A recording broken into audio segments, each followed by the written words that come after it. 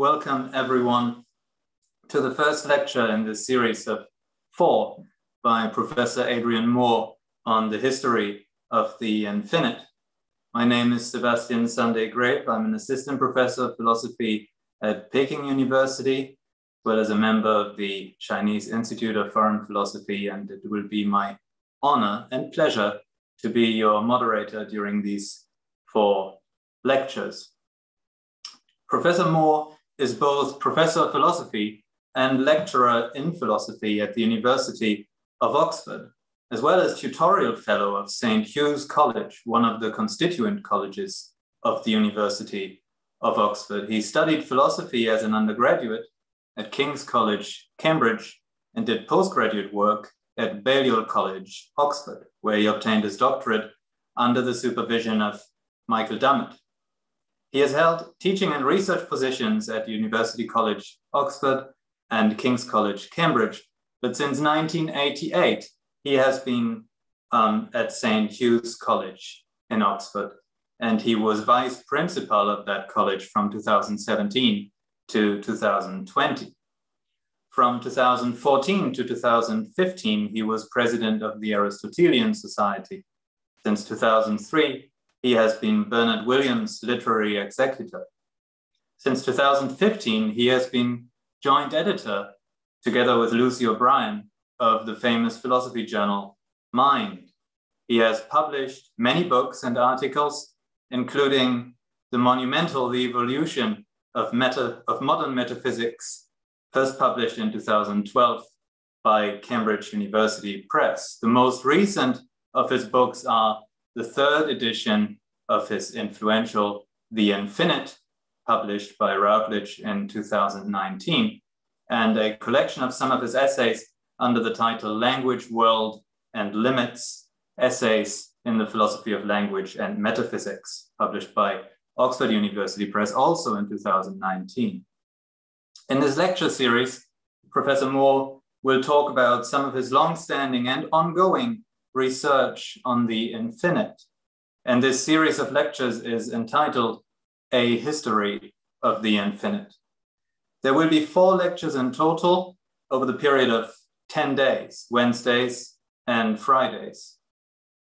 I would like to thank the institutions who are mainly supporting the lecture series, namely Peking University, and in particular my department, the Department of Philosophy and Religious Studies at Peking University, and also the university's Office for International Relations, as well as the Chinese Institute of Foreign Philosophy. Many people at these different institutions have worked very hard to make this event possible, and I would like to personally thank all of them for what they have already done and also for their commitment to what is still to come. The lectures are being live streamed both on Bilibili and on YouTube, and it's planned that recordings will be uploaded to these platforms too. Furthermore, the print publication of the lectures in Chinese translation is already underway.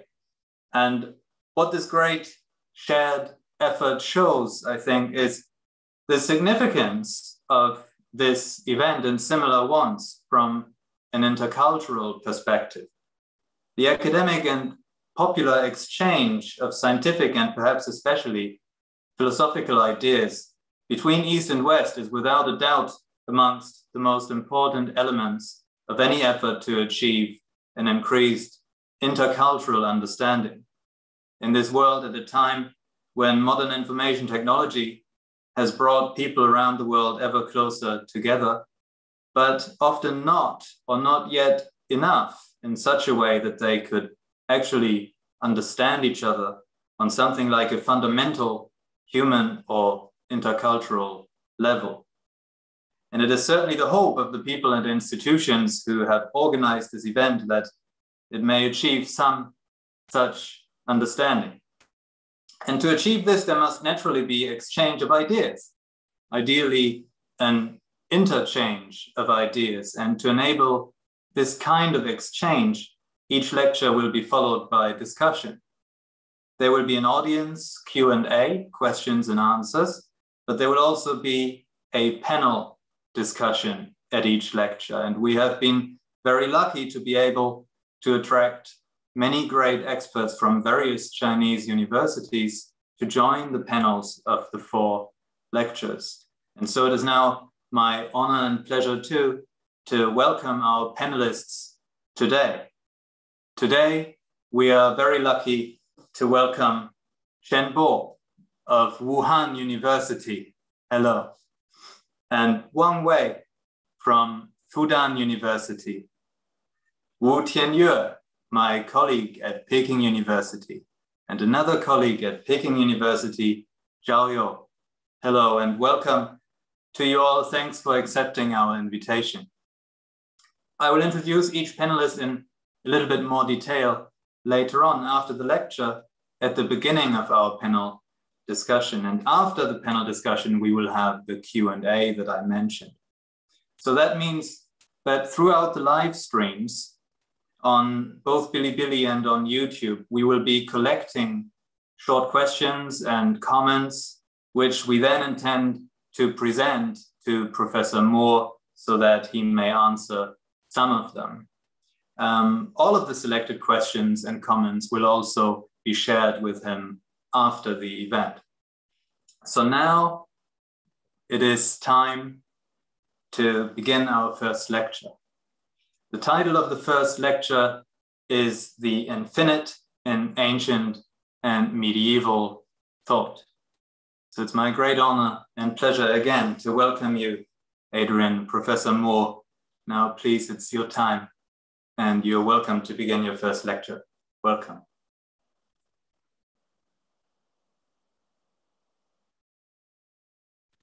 Unmute myself. Uh, thank you very much indeed, Sebastian, for that uh, introduction. And thank you very much indeed for the invitation. It's a great honor to give these lectures, and I really appreciate the invitation that you extended to me. And I'd like to uh, join you in, in thanking the various institutions that have made this event possible and to thank the various panelists who will be responding to my lecture. Uh, I'm going to begin by sharing my screen with you. Um, so I hope that's worked. Um, and this is a handout that I will be scrolling through in the course of the lecture. And you'll notice straight away that there is some material on the handout that is in red, and there is some material on the handout that is in black. And the difference between the two colors is simply that the red material is quotations from other people, and the black material is material of my own between the quotations, uh, summarizing the main lines of thought. So this lecture begins with some material in red. I want to quote from David Hilbert. This is a famous quotation. David Hilbert wrote as follows the infinite has always stirred the emotions of mankind more deeply than any other question. The infinite has stimulated and fertilized reason as few other ideas have. But also, the infinite, more than any other notion, is in need of clarification. Now, David Hilbert was a famous 20th century mathematician. And this is from an address that he gave in 1925 on the nature of the infinite. And I'm beginning with that quotation, not because it's especially relevant to the infinite in ancient and medieval thought, but simply because it's a reminder of what an important topic this is. Uh, throughout the centuries, people have thought about the infinite, tried to understand the infinite and struggled with the infinite. As David Hilbert says, it is a notion that stands in need of clarification. Now,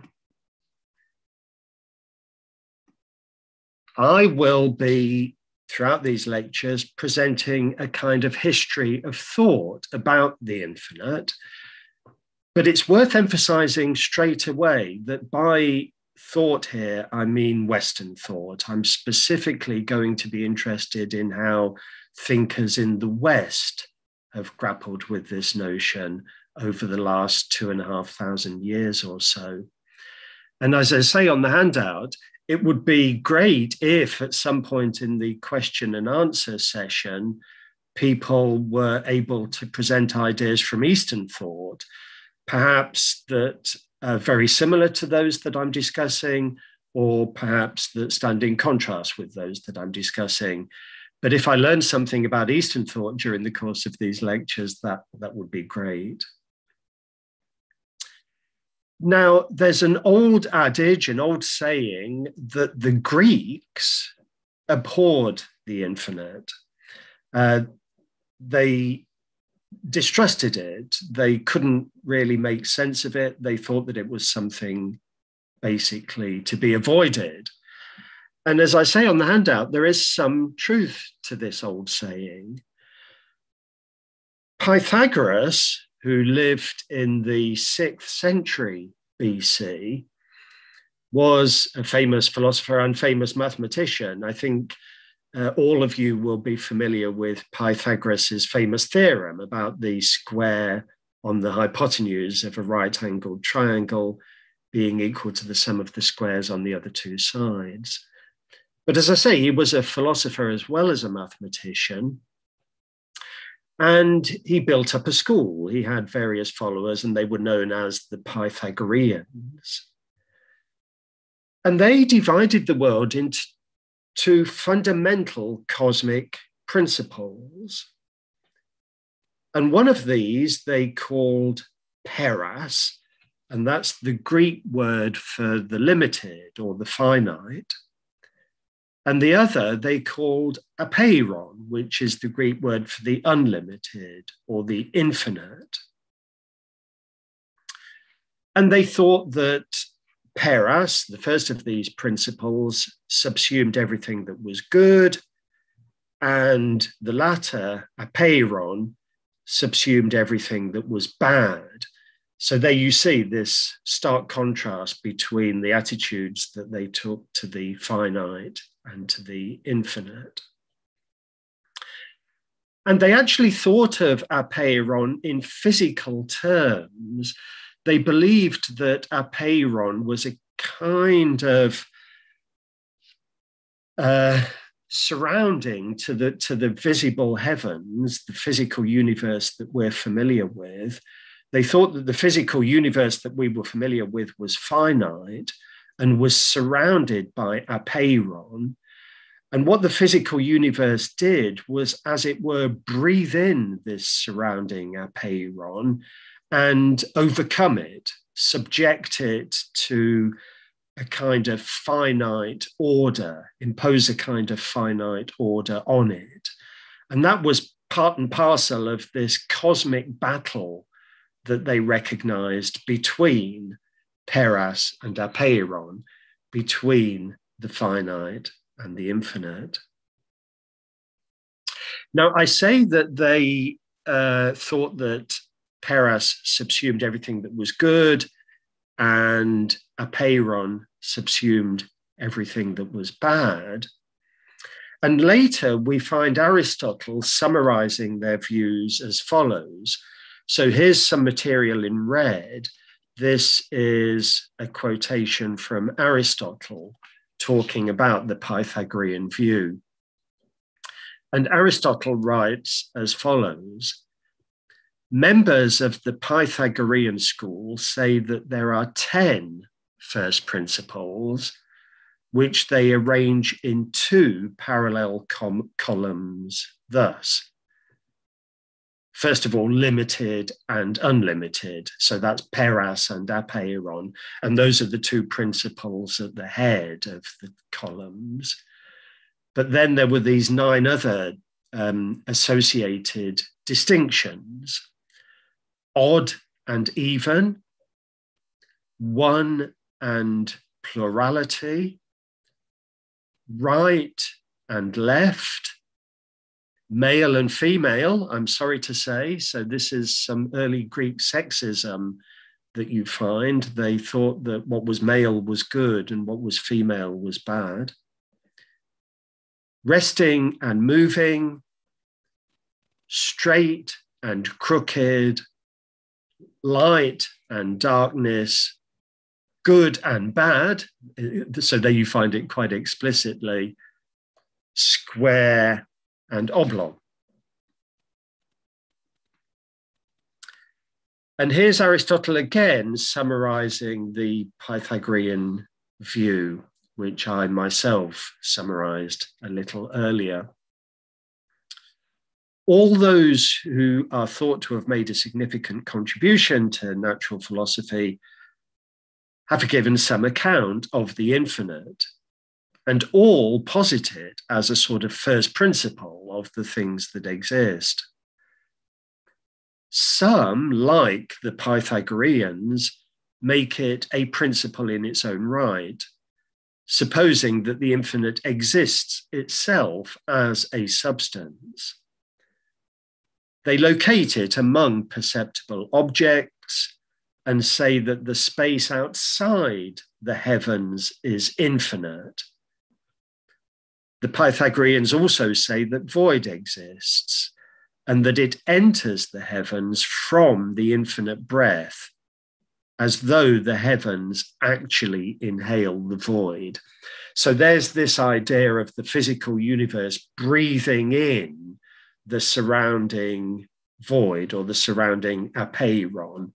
And everything in the physical universe can be understood in finite terms. And in particular, the Pythagoreans thought that the counting numbers, the natural numbers, one, two, three, four, five, etc., were very important because it was in terms of these counting numbers, these natural numbers, that everything in the physical universe had to be understood.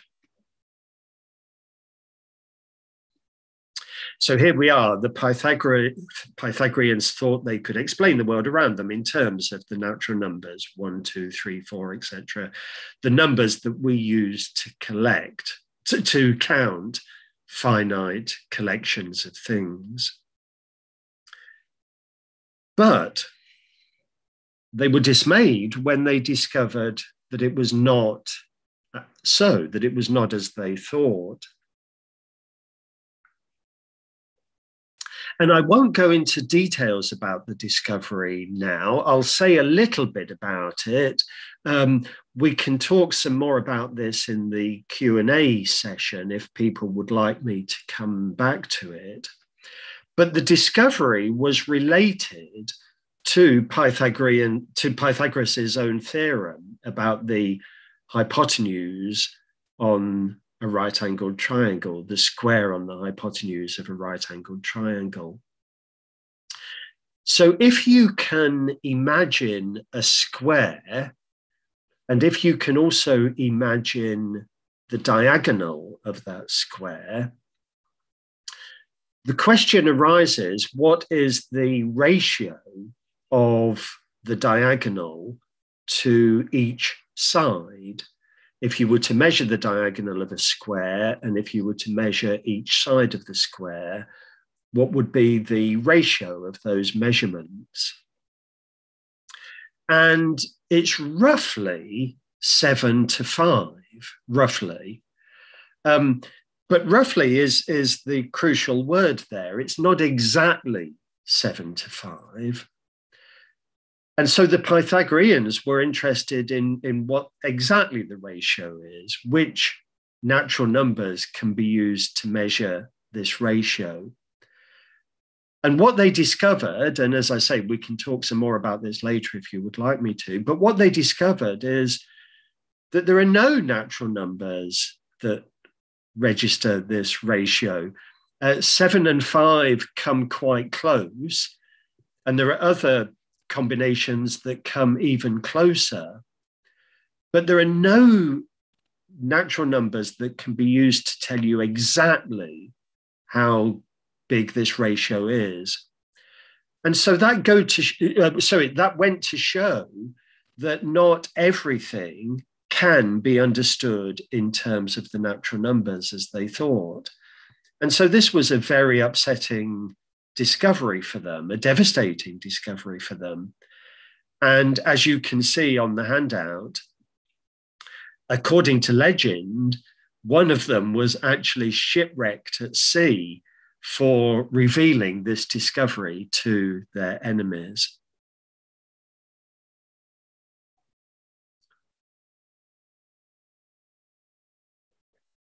Now, a little later, um, so Pythagoras was in um, lived in the sixth century BC. A little later, we come across the famous thinker Zeno of Elea, who was living in the fifth century BC.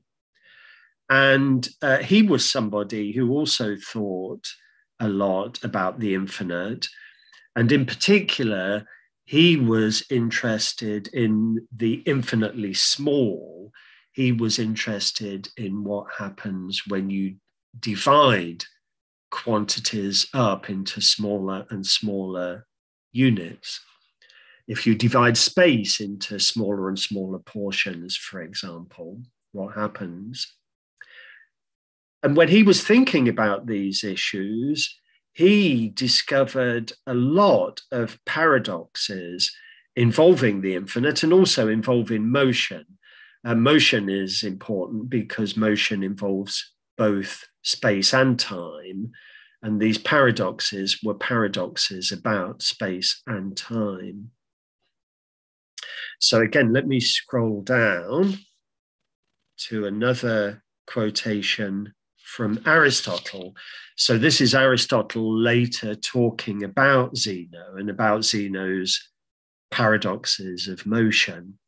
And Aristotle writes as follows Zeno's arguments about motion, which cause so much disquietude to those who try to solve the problems that they present, include the so called Achilles, now, Achilles is the name that's given to one of Zeno's paradoxes, and perhaps the most famous of Zeno's paradoxes. Um, and I'll say a little bit uh, later about the Achilles paradox. But first of all, let me continue with this quotation so that you can see what Aristotle says about it.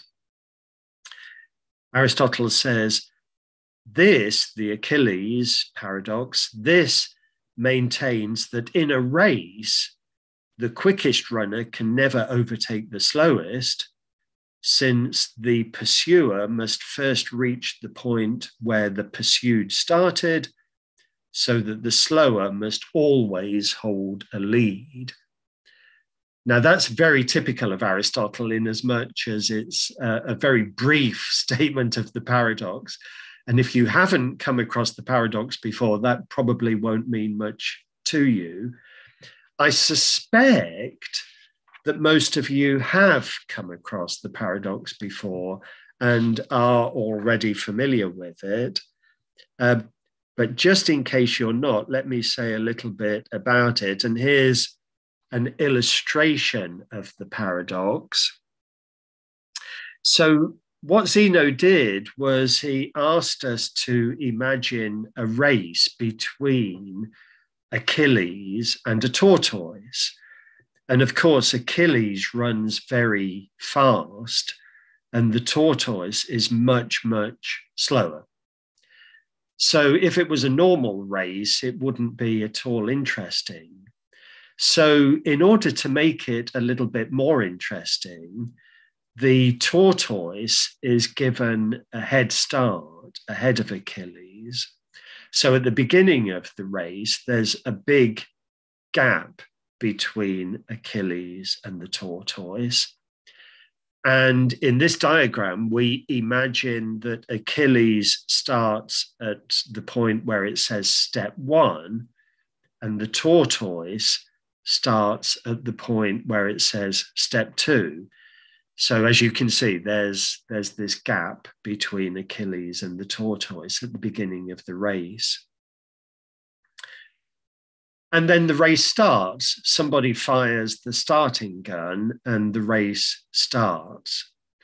And Achilles starts running very fast and the tortoise starts running very slow. Now, Achilles, we assume, will eventually overtake the tortoise. But first of all, before Achilles can do that, the very first thing that he's got to do is he's got to get as far as step two, the point at which the tortoise starts. And of course, he can do that. Achilles can run from step one to step two. And the tortoise is much slower, but nevertheless, the tortoise is also making some progress. And in the time that it takes Achilles to get from step one to step two, the tortoise advances from step two to step three. Um, and that's a, a, much smaller gap because the tortoise is so much slower than Achilles. Nevertheless, the tortoise is still ahead of Achilles. So now, what Achilles has to do is he has to get from step two to step three. And of course, he can do that, no problem. But in the time that it takes him to do that, the tortoise will make some more progress. And in the diagram, you can see that that's the step from step three to what is marked in the diagram as T. And so now there's a new gap that Achilles has to make up. And you can see how the argument is going. The gap between Achilles and the tortoise is getting smaller and smaller, but always the tortoise is ahead of Achilles. And it looks as if Achilles is never going to be, over, be able to overtake the tortoise. And that's the paradox. We started off thinking that it would be quite easy for Achilles to overtake the tortoise, but this paradox shows that Achilles can never overtake the tortoise. And this is Zeno's famous paradox called the Achilles or the paradox of Achilles and the tortoise. And as I say, this is probably Zeno's most famous paradox, although he had lots of others as well. And we can talk about the others if people would like to in the Q&A session.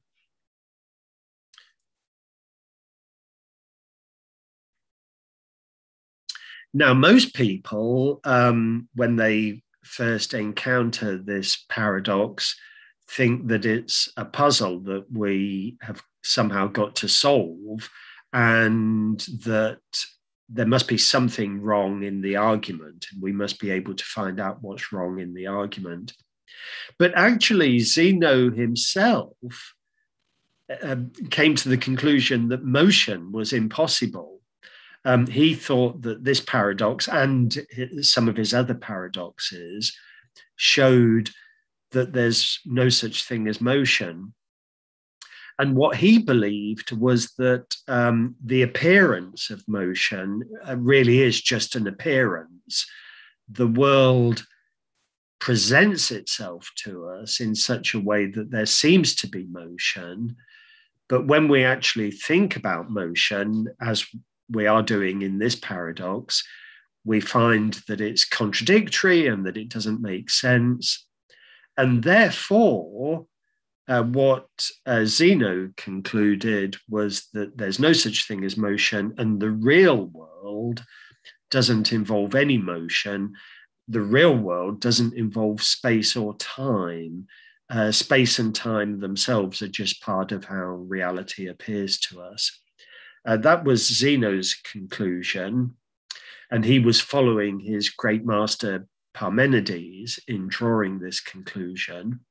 And there were a lot of Greek thinkers who would have agreed with him, but there were also a lot of ancient Greek thinkers who would have disagreed with him. And so they would have taken the view that this is a paradox that we still need to solve in some other way. Now, let's turn our attention to Aristotle, um, who uh, came later in the fourth century BC. Uh, and I've already quoted from Aristotle um, a number of quotations from Aristotle discussing other people's ideas. But Aristotle had some very important ideas of his own about the infinite. And Aristotle was keen to bring about a kind of reconciliation because um, he, he could understand why the Greeks abhorred the infinite. He could understand why they were wary of it and thought that it didn't make sense. But he also believed that um, we couldn't really avoid thinking about the infinite, and that in some ways the infinite is a fundamental part of reality. Some things just do go on forever, in Aristotle's view. So somehow we need to be able to explain why the infinite does exist. And also we need to be able to explain the sense in which it doesn't exist. And we need to explain why the ancient Greeks, the other ancient Greeks, were so uncomfortable with the infinite. So, as I say on the handout, he sought a reconciliation between the idea that things can go on forever on the one hand, and on the other hand, the, the fact that the Greeks abhorred any such idea and that there is something suspicious about the infinite. And so, what Aristotle did was he drew a very, very famous distinction between what he called the potential infinite and what he called the actual infinite.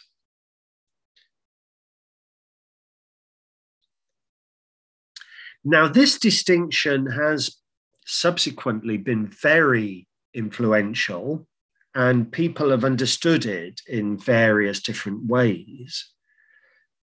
But I think it's important to emphasize right from the very beginning that Aristotle's own way of understanding this distinction was in temporal terms, in terms of time.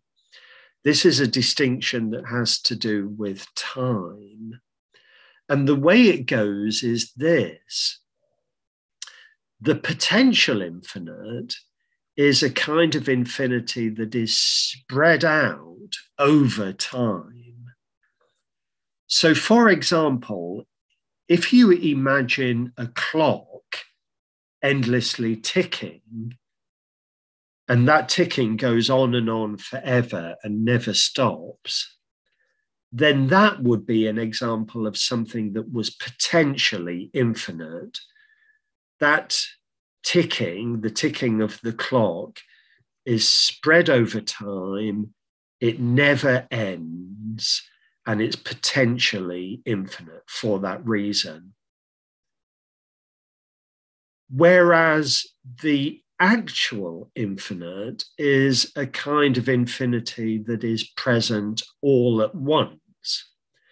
So, for example, if the physical universe was spatially infinite, suppose that space goes on forever, and suppose that the physical universe fills the whole of space, then that would be an example of an actual infinite because that would be a kind of infinity that is present all at once.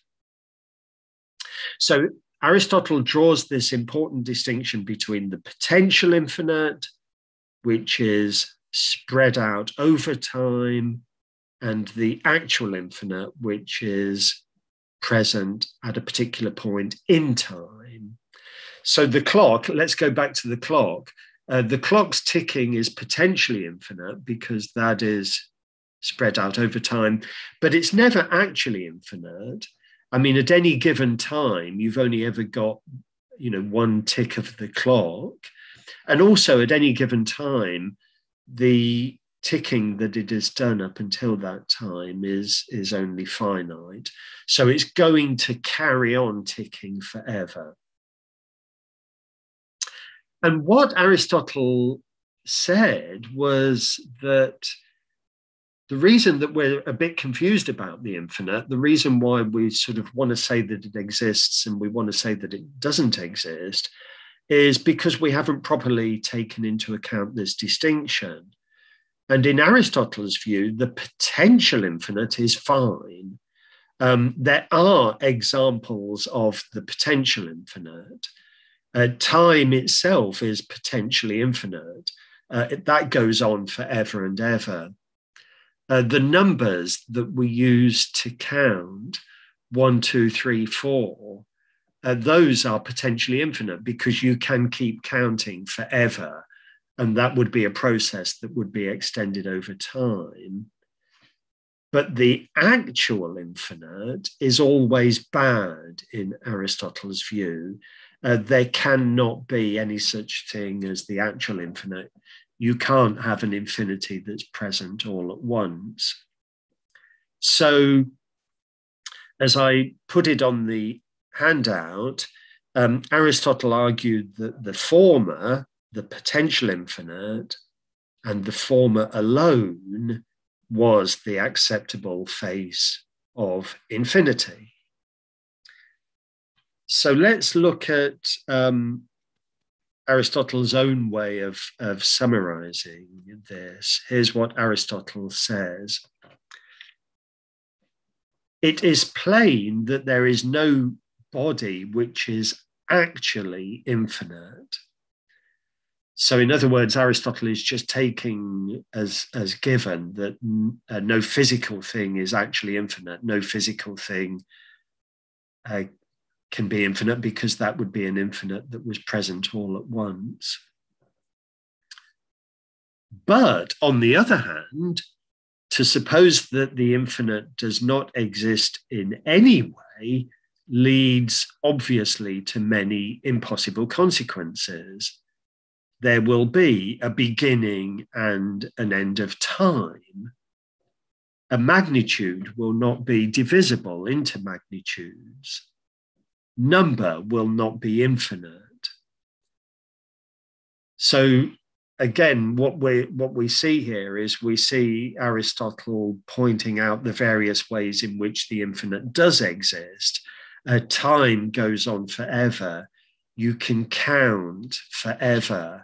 Um, if you've got a space, you can keep on dividing it up into smaller units uh, because the process of division will go on forever.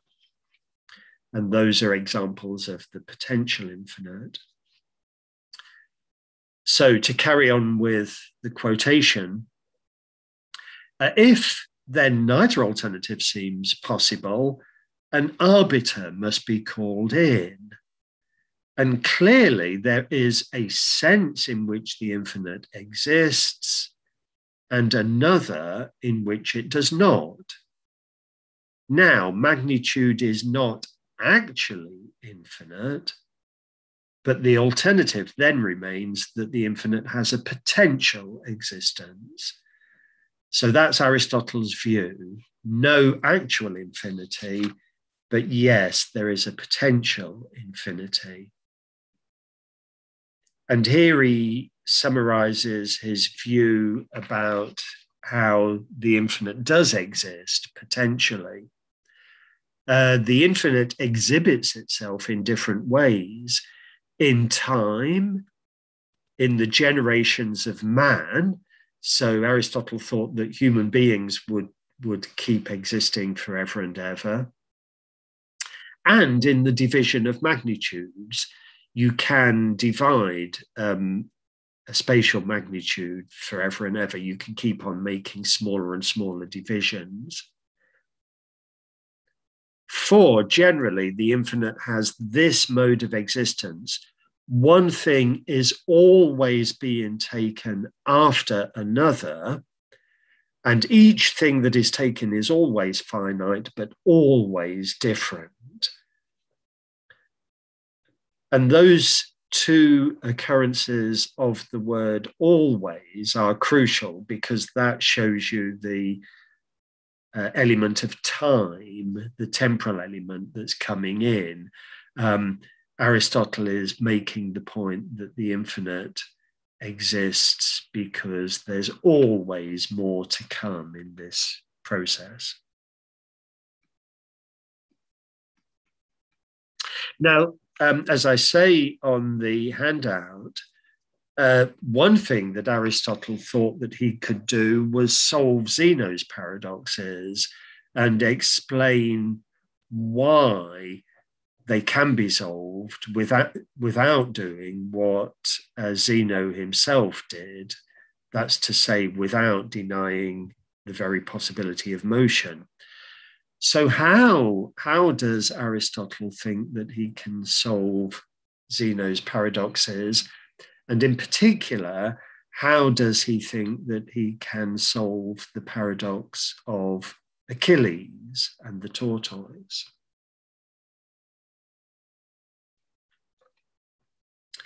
Um, so perhaps it would help if I go back to the diagram.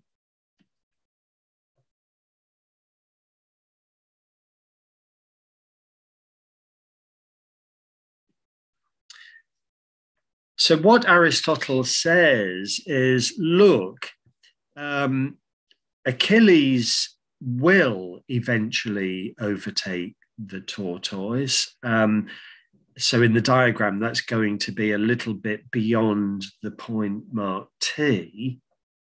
And that's no problem, says Aristotle. Um, Achilles can certainly do that what's happening in this paradox is that we're dividing his journey up into smaller and smaller units.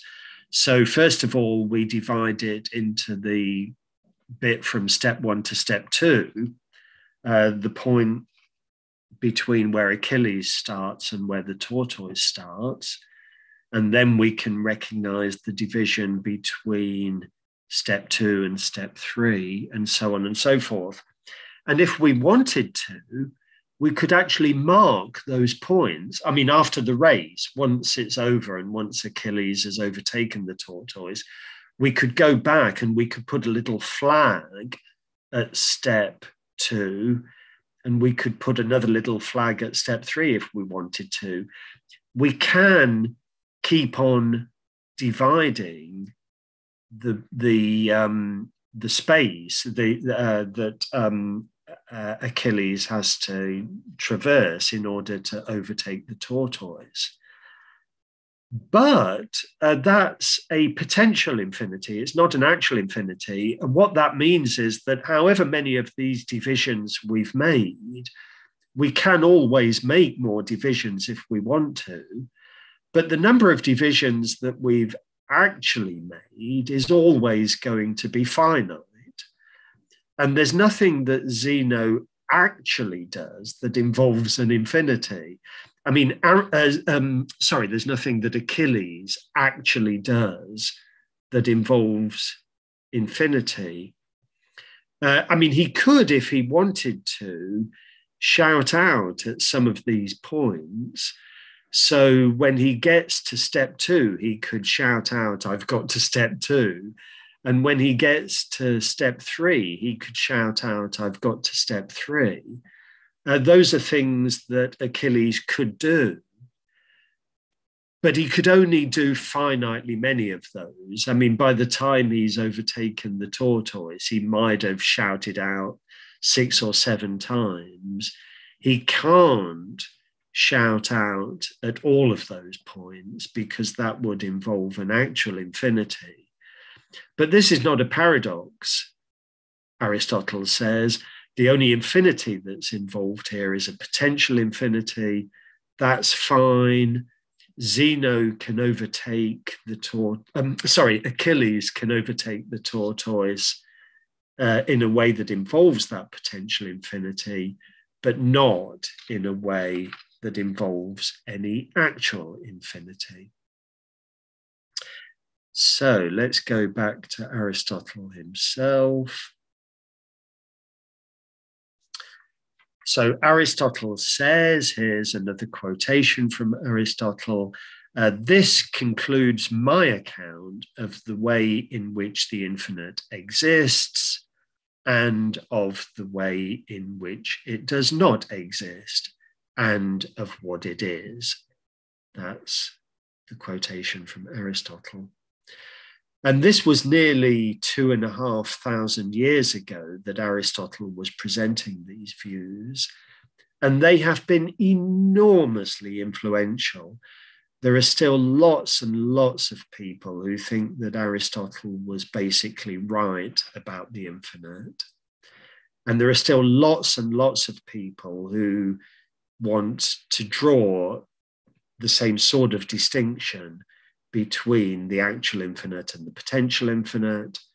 And there are still lots of people who believe that there's something problematical about the actual infinite, whereas the potential infinite is perfectly okay. So Aristotle's views, as I say, have been uh, very, very influential. Uh, but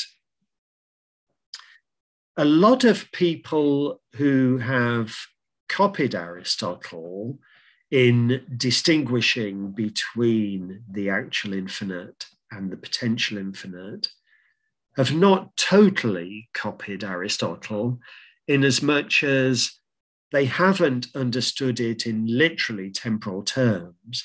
So I kept trying to emphasize that for Aristotle, this was a distinction having to do with time. Later thinkers often use metaphors that have to do with time, but they don't mean them literally. They try to understand the distinction in a more abstract sense, which can be spoken of in temporal terms, but isn't literally um, a temporal distinction. So you find later thinkers who talk about the numbers going on and on forever but unlike Aristotle, they're not thinking about a literal process of counting. They mean going on and on forever in a more metaphorical sense that doesn't have to do with time. But at any rate, there are lots and lots of thinkers who basically take an Aristotelian view. And so now I'm going to give you an example. And this is the next quotation on the handout. Now, uh, Sebastian, in his introduction, uh, mentioned that I studied with Michael Dummett. Uh, Michael Dummett was my uh, doctoral supervisor. And the next quotation on the handout is a quotation from Michael Dummett, a, a very famous 20th century philosopher who thought a lot about infinity and wrote a lot about infinity. And uh, he's a good example of somebody who basically adopts an Aristotelian view of infinity. And I think that comes out quite clearly in this quotation from Michael Dummett. So Michael Dummett writes as follows It's quite literally true that we can arrive at the notion of infinity in no other way than by considering a process of generation or construction which will never be completed. The Platonist, now I should stop at this point and explain that by the Platonist, what uh, Dummett has in mind is someone who thinks of the infinite as actually existing all at once, whether literally or metaphorically. So the Platonist is somebody who believes in an actual infinity. And Dummett says, the Platonist destroys the whole essence of infinity which lies in the conception of a structure which is always in growth, precisely because the process of construction is never completed. the Platonist conception of an infinite structure as something which may be regarded both as the outcome of a process and as a whole, as if the process were completed, rests on a straightforward contradiction. The infinite process is spoken of as if it were merely a particularly long, finite one. So that's Dummett saying, look, if you're a Platonist, you're sort of contradicting yourself. You're treating the infinite as if it was just something very big. Um, you're treating this never ending process as if it had finally come to an end and resulted in something that was infinitely big. But a never ending process never does come to an end. That's the whole point. and to treat it as if it did come to an end is, as Dummett says, a straightforward contradiction.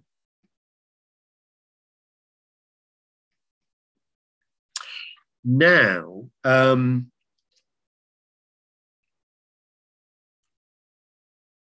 so far I've been concentrating on ancient Greek thought, and we've been going back um, almost two and a half thousand years. Well, in fact, at the beginning, over two and a half thousand years.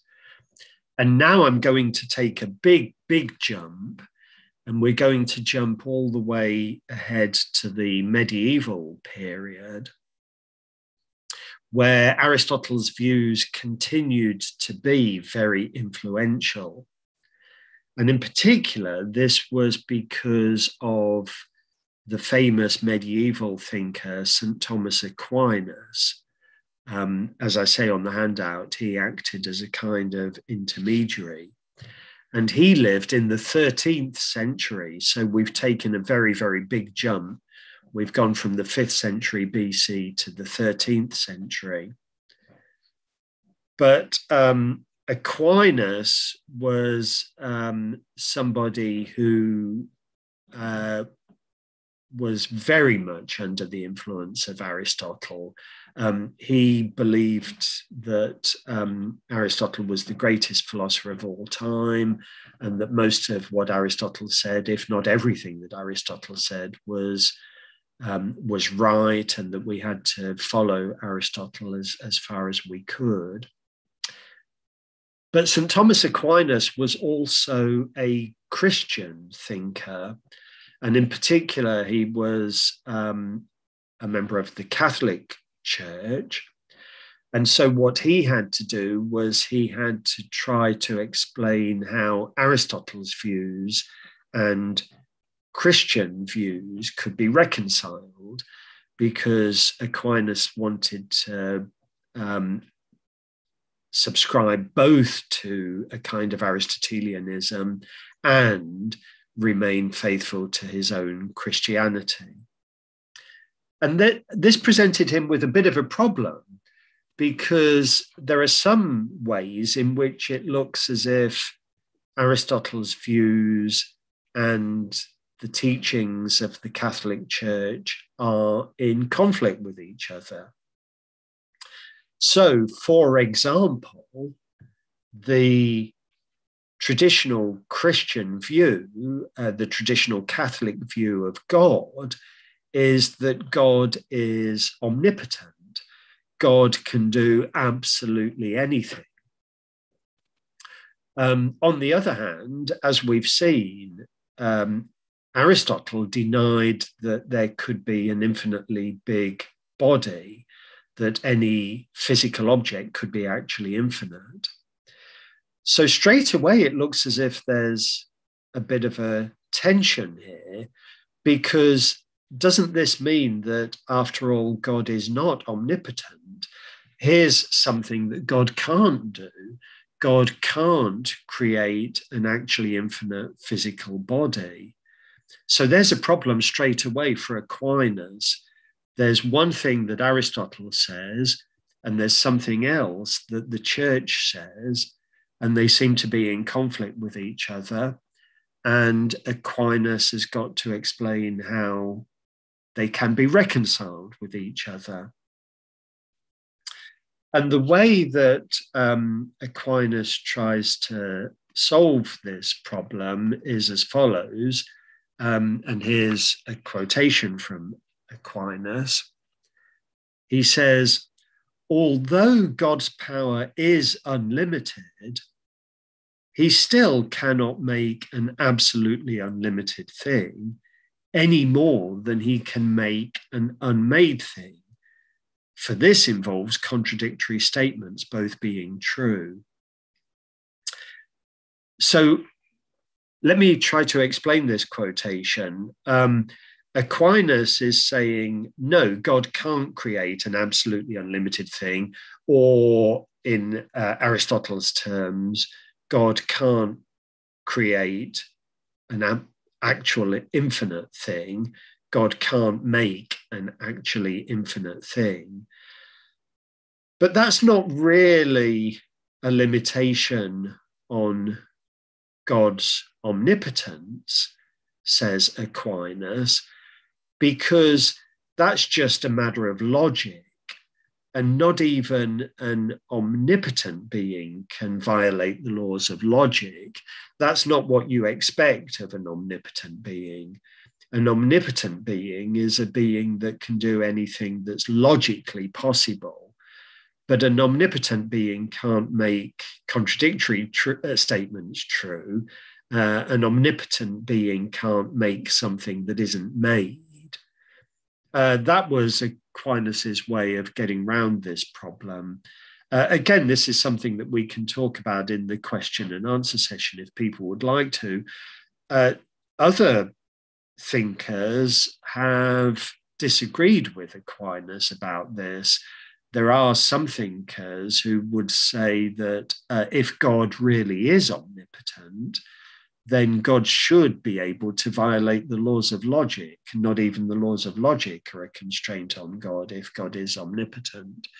Uh, but that's not Aquinas's view, and that's Aquinas's way of trying to get round this particular problem. Uh, but it's not the only problem. It's not the only problem that Aquinas faces. And there's another problem, which in some ways is uh, even more obvious, and in many ways is even more serious, which is what about God Himself? Surely God is infinite. And yet, according to Aristotle, nothing that actually exists is actually infinite. So, what is Aquinas going to say about this? What about God's own infinite properties, God's own infinitude? Well, again, Aquinas thinks he has a solution to this problem. For one thing, we have to realize that God does not exist in time. So if we recall that Aristotle's distinction is a distinction about time, we don't have to think that God's infinitude is present all at once, all at a particular point in time, because God is not in time at all. So in a way, that that's I mean that's the simple way of trying to get round this particular problem, this particular difficulty. But also, uh, relatedly, there's a distinction that we can draw, a very important distinction, which I haven't mentioned at all so far, between what you might call a metaphysical sense of infinity or a theological sense of infinity and a mathematical sense of infinity. And up until now, all of my discussion has been concerned with the mathematical sense of infinity, which is concerned with measurement and quantity. Um, that idea of um, uh, larger and larger magnitudes.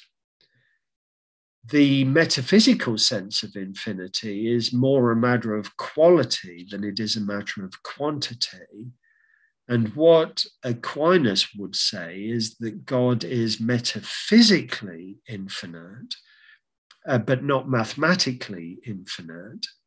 So Aristotle's distinction between the actual infinite and the potential infinite is not really relevant to God because Aristotle's distinction is a distinction to be drawn between two different kinds of mathematical infinity.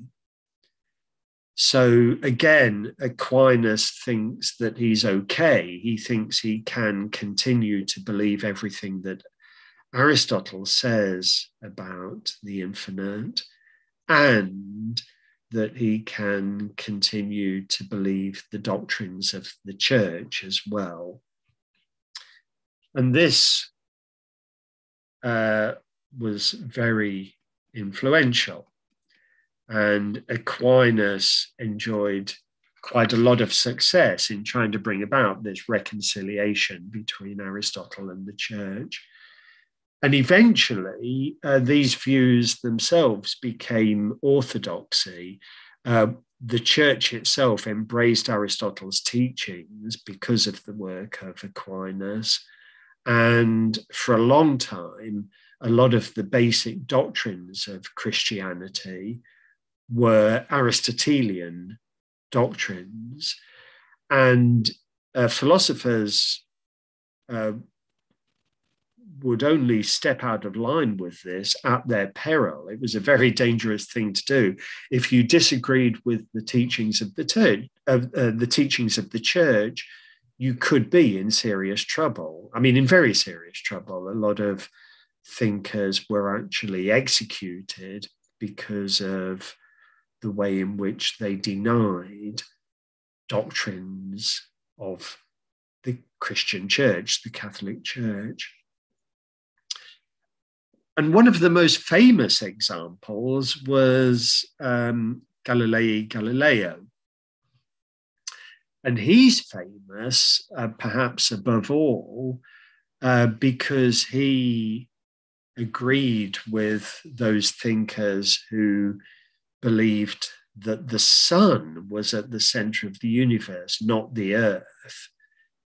Galileo's view was that at the center of the universe we find the sun and the earth rotates around the sun, whereas the Catholic Church had taught that the earth is at the center of the universe. So Galileo was somebody who was in serious danger and um, uh, took issue with the church, disagreed with the church, and um, was eventually forced to recant some of his views. But uh, he he didn't just disagree with the church um, as far as the question of what is at the center of the universe is concerned. Um, he also disagreed with the church on some of these questions of infinity. And he believed that we could make sense of an actual infinite. He was quite comfortable with the idea that uh, the numbers one, two, three, four, five, etc., all exist at once. That's no problem as far as Galileo is concerned. Uh, we don't have to think of this in terms of an endless process of counting. We can think of this as a collection of mathematical objects that are all there together at the same time. And as far as Galileo was concerned, that is an example of an actual infinity. So this goes right against Aristotle and it goes against what had by then become the Orthodox Christian view as well. Now, there's a little bit of an irony uh, because, as you can see on the handout, um, although Galileo accepted the existence of the actual infinite, this was despite the fact that he discovered some paradoxes of his own concerning the infinite totality of natural numbers. Um, and these are paradoxes that were um, subsequently very important as well. And those of you who attend my third lecture, lecture three, will see me returning to some of these paradoxes. They're very important um, in the subsequent mathematical study of the infinite, which is what I shall be discussing in lecture three. But already Galileo was aware of these paradoxes, um, paradoxes concerning the collection of um, natural numbers one, two, three, four, five. And if I scroll down, you'll find this is a quotation from Galileo in which he outlines one of the one version of, of the paradox. And it goes as follows. Uh, uh, this is uh, Galileo's quotation. Uh, if I should ask how many squares there are, so the square numbers are just uh, 1, 4, 9, 16, 25, etc.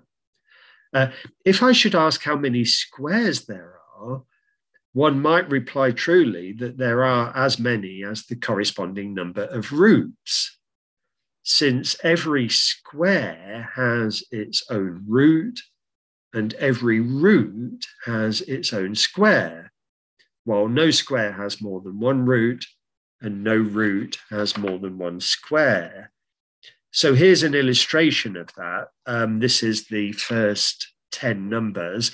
Um, on the left hand side, you can see the, the first 10 natural numbers. And on the right hand side, you can see their squares 1, 4, 9, 16, 25, etc. Um, and corresponding to each natural number on the left hand side, there's exactly one square on the right hand side um, and corresponding to each square on the right hand side, there's exactly one number, one natural number on the left hand side. So that's the illustration. Now let's continue the quotation. So this is um, Galileo again. But if I inquire how many roots there are, it cannot be denied that there are as many as there are numbers because every number is the root of some square. So over on the left hand side, you've just got all the natural numbers, they all occur there. Yet, it seems that there are many more numbers than squares, since the larger portion of them are not squares. So over on the right hand side, you've got gaps. Let's let's go back to the um, let's go back to the diagram. Uh, over on the right hand side, you've got uh, the natural numbers, but with gaps in between them. So it goes straight from one to four. We're missing out uh, two and three. And then it goes straight from four to nine. We're missing out five, six, seven, and eight. So not all the uh, natural numbers are appearing on the right hand side, but they are all appearing on the left hand side. Uh, not only so, but the proportionate number of squares diminishes as we pass to larger numbers. So the gaps on the right hand side are getting bigger and bigger. There are fewer and fewer squares as you keep on going. So up to 100, we have 10 squares, as you can see.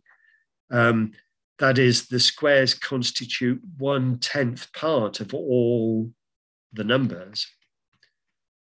Up to 10,000, we find only one hundredth part to be squares. And up to a million, only one thousandth part. So the proportion of squares is getting smaller and smaller all the time. So this is a, this is a paradox. This is a paradox that uh, Galileo has uh, discovered uh, concerning the natural numbers. Um, on the one hand, it looks as if there are as many squares as there are natural numbers altogether because they can be paired off. On the other hand, it seems obvious that there are fewer squares than natural numbers. Um, and indeed, they're getting fewer and fewer as you travel out along the sequence. So, how did Galileo himself solve this paradox? Because there he is telling us that he believes in the collection of natural numbers as an actual infinity. well, here's what um, here's what Galileo says. Uh, so far as I can see, we can only infer that the totality of all numbers is infinite and that the number of squares is infinite and that the number of their roots is infinite. So these collections are all infinite, infinitely many numbers, infinitely many squares. And, says Galileo, uh, the attributes equal, greater, and less are not applicable to the infinite, but only to finite quantities. So um, what Galileo is saying is that we just we just mustn't talk in these terms. It doesn't make sense to compare infinite collections in size.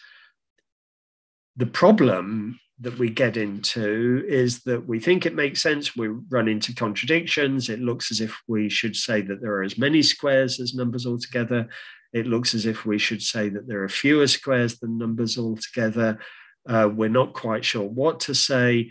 Galileo's solution to the paradox is well, don't say any of these things, don't talk in these terms. Those labels are no longer applicable when it comes to infinite collections. Now, when we get to lecture three, those of you that attend lecture three will find later thinkers revisiting this paradox and taking a very different view um, and arguing that we can talk about some infinite collections as being bigger or smaller than other infinite collections. Um, but I won't say any more about that now because that is um, a, a topic for later. That's a topic for lecture three. But that is the point at which uh, this lecture stops. So I shall finish at that point and I shall stop sharing.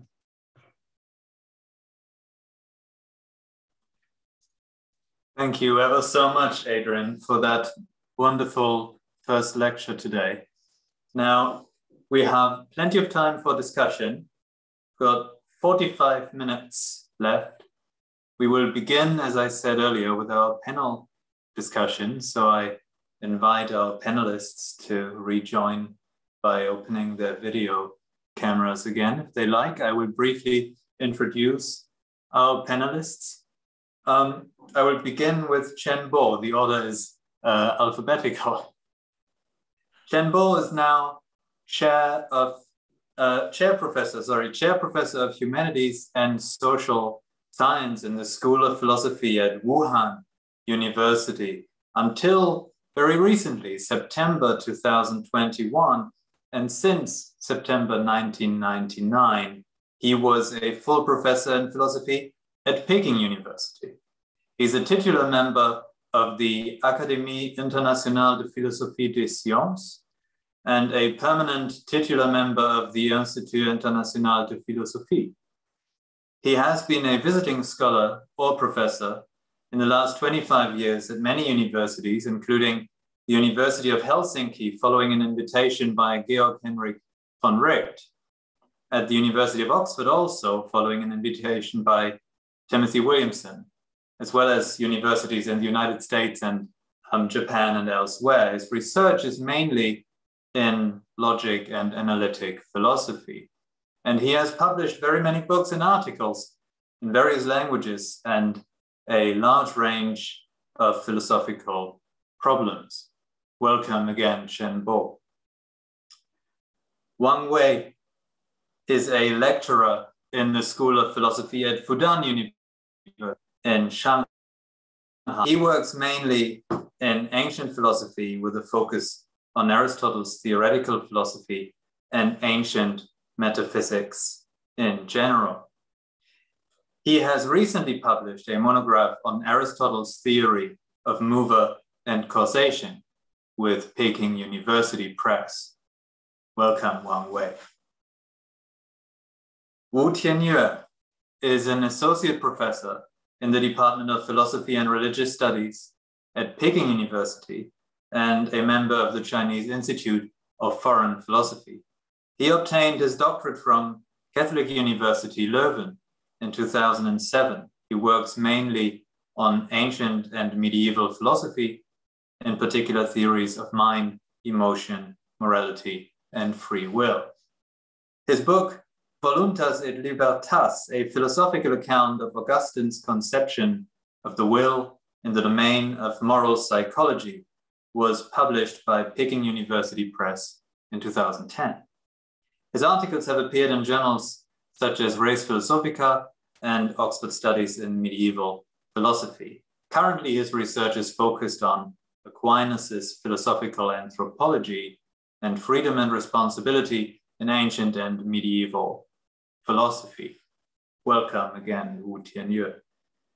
Finally, Zhao You, another colleague here at Peking University. Zhao You is an assistant professor in the Department of Philosophy and Religious Studies.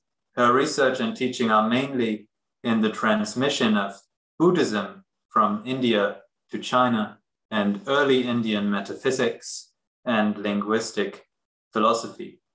Currently, she is leading a project on the philosophy of time in Indian philosophy funded by the Chinese National Social Science Fund. And most of her recent publications are also focused in this area of research. Welcome again, Zhao You, and welcome everyone. Now we have time for um, discussion. I think that Professor Chen Bo would like to start sharing some of his views. Please welcome Professor Chen. Yes. Thanks to Professor Moore's wonderful lecture. Uh, and also thanks to uh, Sebastian's uh, friendly introduction. Uh, uh, Professor Moore, Moore uh, present uh, infinite paradox from the historical perspective. Uh, let me uh, know uh, what great uh, philosophers in the past think about uh, infinity, uh, very informative and very clear. Mm. Uh, thank you. Yes, I have two questions.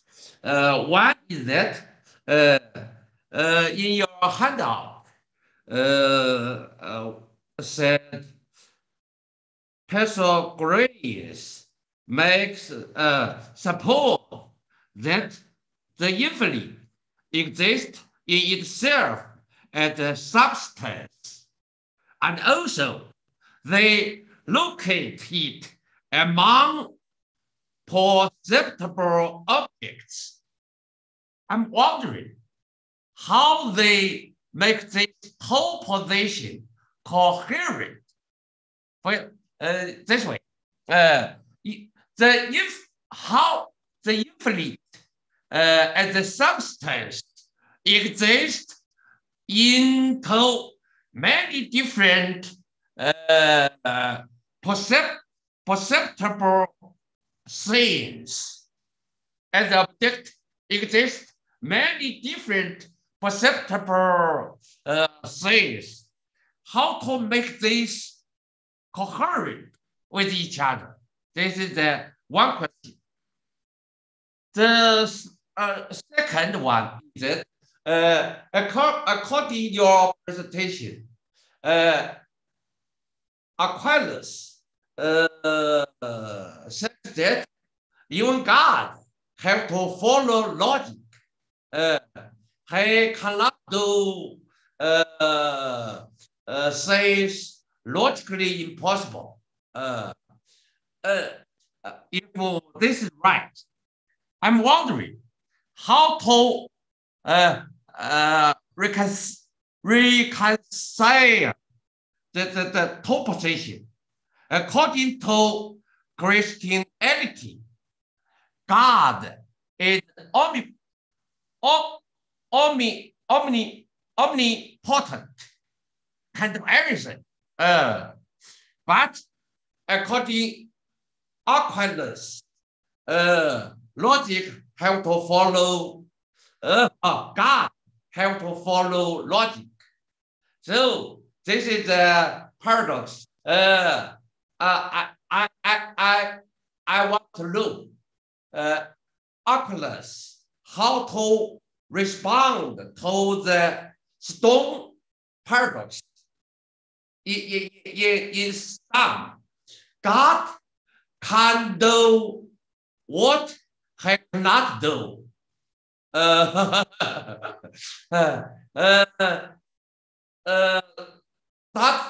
God can do what cannot do. For example, he can create a stone. He himself cannot hold up. Uh, this is my question. Thank you.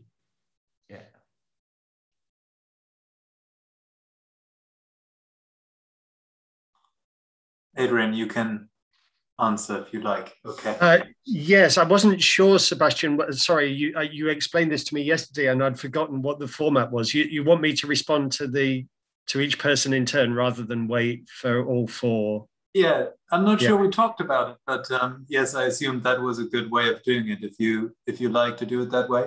I, no, I think that is a, a good way to do it. Yes. So, I mean, there's a lot to be said in answer to uh, these two questions. I shall try to keep it as brief as possible.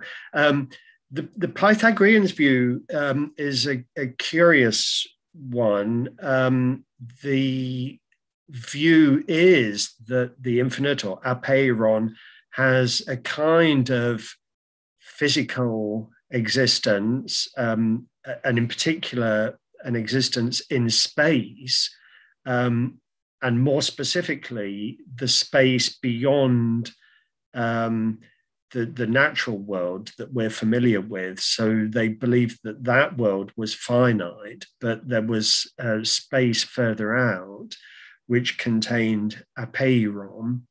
Um, and it's a substance in the same way that physical substances are substances. Um, but there's an interaction between apeiron and um, what we see in the world around us. And this is part of what they had in mind when they talked about the way in which the world around us is kind of breathing in this outside um, apeiron, uh, breathing it in and, and then subjecting it to uh, various laws of nature which are imposed on it. But in the quotation from Aristotle, the infinite is talked about as if it were itself perceptible. Um, and you picked up on that. And I think that is actually a little bit of a mystery. Um, there's a sense in which that's not quite the best way to put it um, because all that's perceptible is what's part of the physical world around us, um, and that's not where apeiron appears. Um, I, I mean, it's always a, a, little bit difficult with these brief quotations from Aristotle to know exactly what's the best way to interpret them and exactly what he has in mind. But one way of trying to explain why Aristotle puts it this way is to say, well, look, by the time you've got things that are perceptible, by the time you you consider the physical world round about you, um, uh, Peras and Apeiron have both been involved. I mean, that the the the forces of good, the the forces that come under the head of Peras, have imposed a kind of law and order onto to apeiron on, onto a, apeiron, which um, they've subjugated. And so it is, in a way, perceptible because it's part of what contributes to the perceptible world around us. So I think that's the, the, the story about why Aristotle puts it in the way that he does. Now, as regards Aquinas um, and the idea that um, God can only do what's logically possible, now, as I mentioned in the lecture, um, not everybody has agreed with Aquinas about this, and there are some thinkers who believe that if a being really is omnipotent, then it ought to be able to do even things that are logically impossible. But that was not Aquinas's view. And Aquinas said, look, um, when the question arises, what is it possible for an omnipotent being to do? We have to limit our attention to what is possible in the first place. Um, I mean, the question is, you know, given what's possible at all, how much of that is it possible for an omnipotent being to bring about? But you've got to restrict attention to what's possible in the first place, otherwise your question doesn't make sense. That's that's Aquinas's view. But then you quite rightly point out that there are various paradoxes that still arise. And in particular, there's a famous paradox about um, whether God could create a stone that is so heavy that not even God can lift it. Um, and uh, this really does look like a paradox because if we say no, then it looks as if there's, a, after all, there's a limitation on God's omnipotence. On the other hand, if we say yes, then that's a limitation on God's omnipotence as well, because there's a stone that's too heavy for God to lift. Um, I don't, I'm ignorant, I'm afraid, and somebody else here will probably know better than I do. I don't myself know of um, anywhere that Aquinas explicitly discusses this problem. I'm sure he does somewhere, and I'm sure other people will know what Aquinas says about this.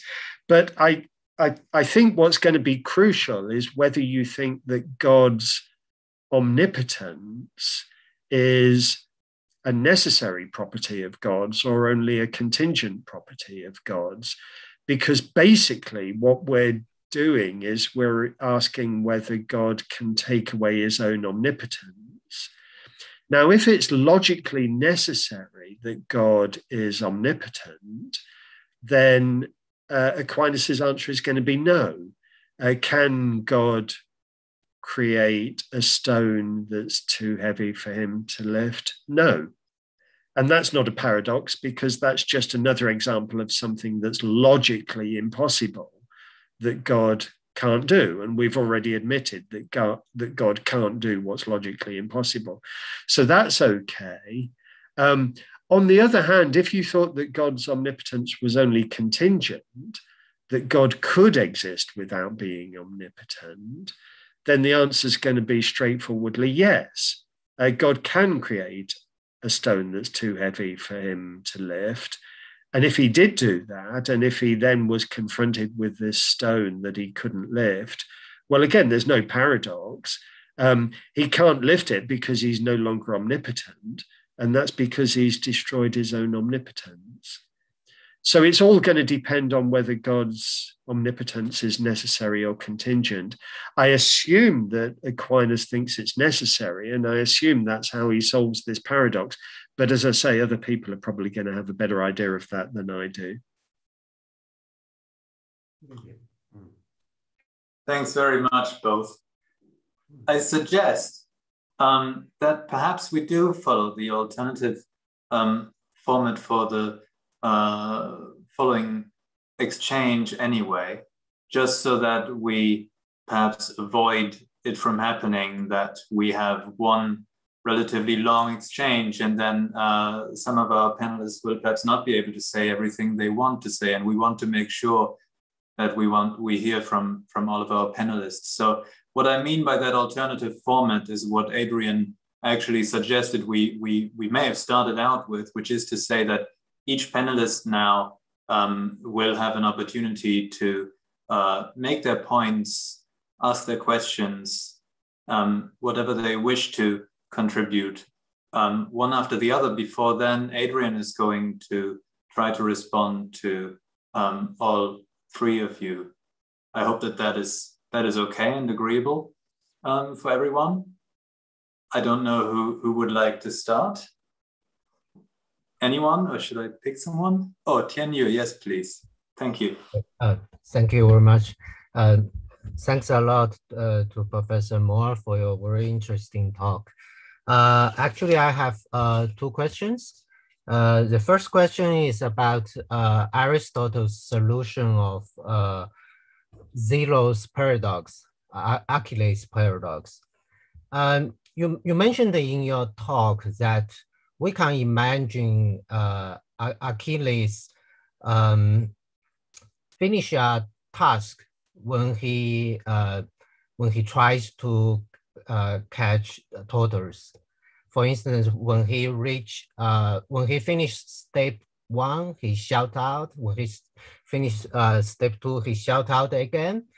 And uh, if we think it in this way, uh, then it means that before Achilles finish the race to, to catch the uh, turtles, he, he seems to need to um, shout out for an inf infinite number of times. Yeah, that means that uh, he he needs to finish uh, infinite numbers of tasks within a finite uh, period of time, which seems, uh, yeah, which seems impossible. Yeah, at least it seems impossible. So I, I would like to hear your comments how one can finish infinite number of tasks within a finite, uh, finite time of period of time. Sorry. Uh, and the second question is about uh, uh, your comments on Aquinas. And uh, um, the, uh, as you mentioned, Aquinas makes uh, several distinction of different types of infinity. in his own terms, he makes a distinction between infinity uh, regarding to matter or infinity regarding to form.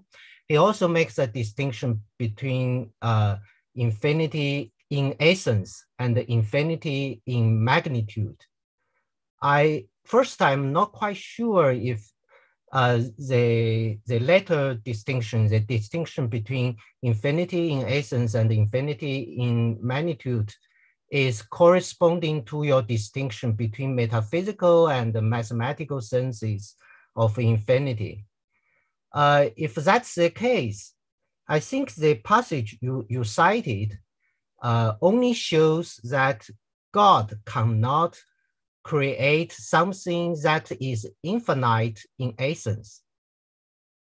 Yeah, because if uh, a created thing is infinite in essence, uh, it will not be created because uh, being created means that its being is uh, limited by the action of create, uh, being created.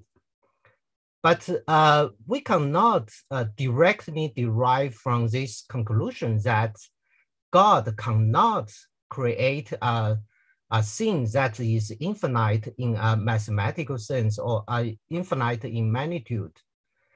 So I, I would like to uh, hear more about um, your understanding of Aquinas' arguments against uh, uh, against the uh, actual infinite in a mathematical sense. Okay, thank you very much.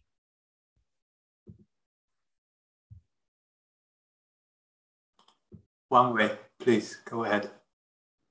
Uh, okay, th so thank you very much, Professor Moore, for the wonderful talk, and thank uh, Peking University for the invitation. I'm very glad to be here.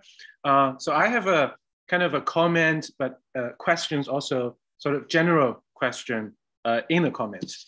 Uh, so my question is about, or starts from Zeno's paradox. We know that Aristotle mentioned Zeno's paradox of motion in his physics, and in uh, those are questions that having that has to do with with motion. Uh, and in Simplicius's commentary on Aristotle's physics, he introduces another set of two paradoxes on which plays on the idea that if there are many things, then the many things are uh, limited, both limited on unlimited, and so on. Uh, and it seems that in the in that other set of paradox, the crucial idea is between or placed or Zeno placed on is the distinction between the discrete and the continuous uh, discrete quantity and continuous quantity. And seems to be the case that around the time of Zeno, the Greeks are grappling with these uh, kind of problems. In um, so so it, the problem is whether uh, so there seems to be two kinds of uh, ontologically different things. One set is points, and how, however many points you add up together, you can't get the continuum. And however you divide the continuum, you can, cannot get to the points. Uh, and which, which, which partly is shown uh, in the Pythagorean uh, columns of opposites. And also uh, it has to do with uh, things uh, for example, in Anaxagoras' uh, discussion of infinite division and so on, and also in terms of uh, how the atomists come about and try to push against that kind of thing and say that there are, uh, if, if you divide things uh, many times enough, you get to the indivisibles. And we see this not only in the atomists' account, but also in the account, for example, in Xenocrates, the student of, of Plato, who has sort of this mysterious thing about the indivisible magnitude, the discussion of which we also find in uh, the Aristotelian corpus. So I'm so my question is a general one. Uh, that uh, so in what sense do you think that this kind of understanding also plays into the discussion of infinite uh, in your uh, account of the ancient Greek thinking. And do you think that Aristotle has sort of uh, uh, the, the solution to the infinite problem on the basis of potential infinite only solve the motion problem? Or do you think that uh, it also has something to do with the problem of discrete and continuum? And also uh, from the Aristotle perspective, it seems to me that um, for Aristotle himself, at least, he he seems also to sharply distinguish between two kinds of things. One, the limits themselves, and the thing limited. For example, so a body plays into this kind of uh, dualism. Whereas uh, people like the atomists or the Epicureans or the Stoics, on the other hand, if they believe in sort of the monist, uh, monist kind of thing, they would think that the thing that limits, we used to limit the thing limited are of the same species or kind. Uh, so they share the same ontological status. Uh, so that's my general comment and question. So do you think that these, uh, the problem having to do with potential infinity uh, has anything to do with the problem of discrete and the continuous uh, things? Okay, thanks. I hope this does not steal any thunder from your future talk of infin infinitesimal. but that's my question. Okay, thank you very much.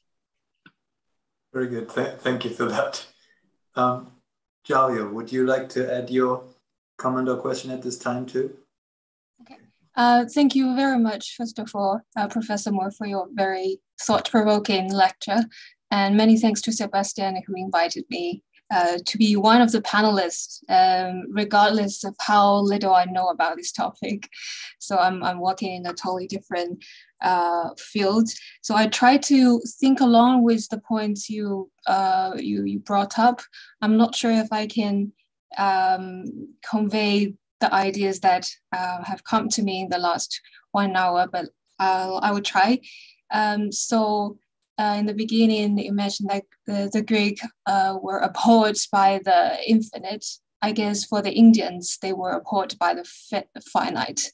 So I, I, guess it was a totally uh, opposite uh, beginning of the story.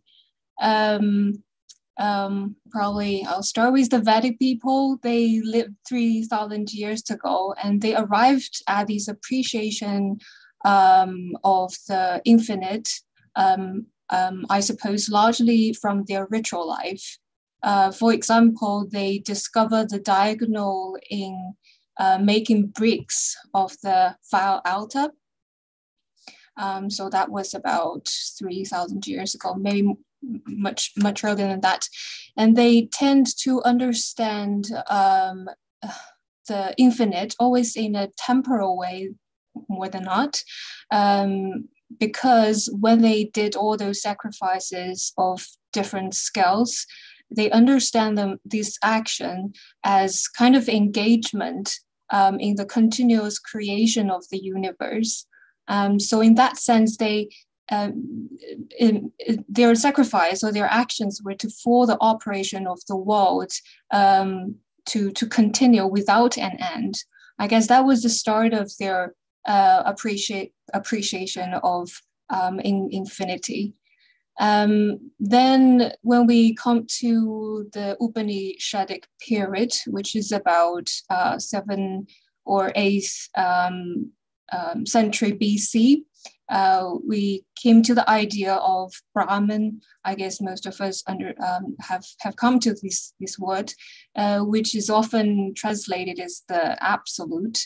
But nowadays we more often to take it as a vision of totality.